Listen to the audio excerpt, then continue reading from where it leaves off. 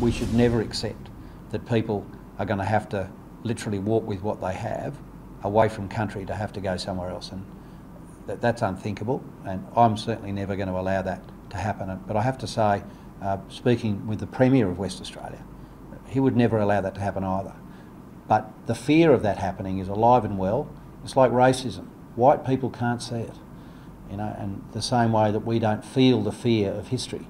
And we must remember that there are a, a very large demographic of, of, of Australians who live in the Kimberley area who have a different history. And that's why we need to ensure that the story we give them every day makes sure that they are completely informed about the intention of government.